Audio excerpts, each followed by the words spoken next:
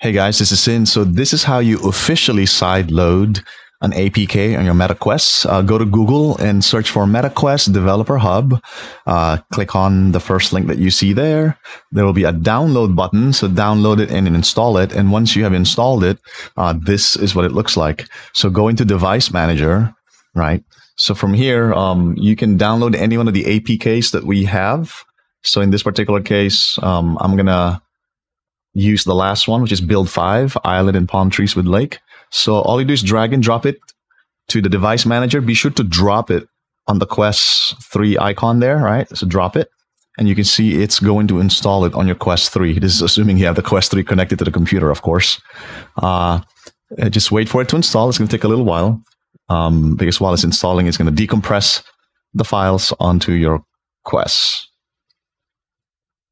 Or maybe not. Maybe it's just copying it actually. But it takes a while either way.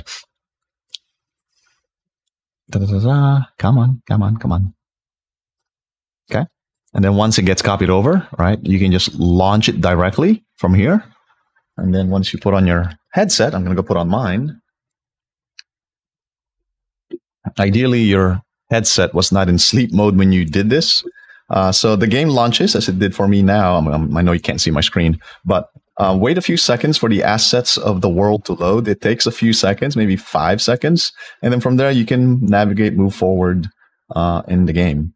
So anyway, uh, in a nutshell, that is uh, how you uh, sideload a game in your Quest 3. Also, this is where you can stop the game as well as uninstall it once you're done testing it. All right. This is Sin signing out.